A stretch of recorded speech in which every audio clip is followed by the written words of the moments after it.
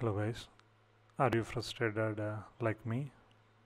Can't get uh, what you want from your uh, toiletry bag? Here comes the roll and go cosmetic bag for all your uh,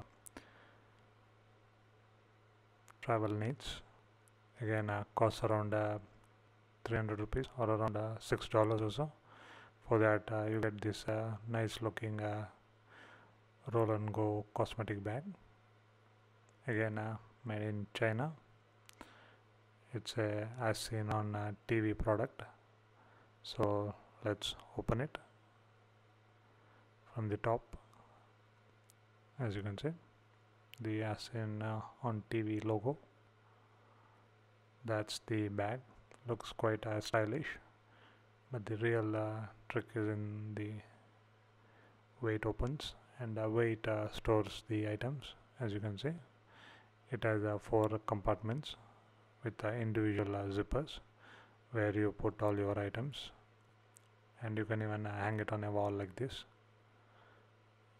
It comes with a hook on top so that you can hang it. And uh, organizing uh, it is uh, quite easy. It even has enough room so that if all the small bags are fill in it doesn't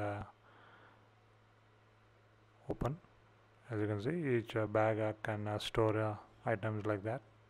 You can put uh, mul- multiple items but uh, I don't have enough of them to put in all the bags so I'm just putting one of them. And I can close the zippers.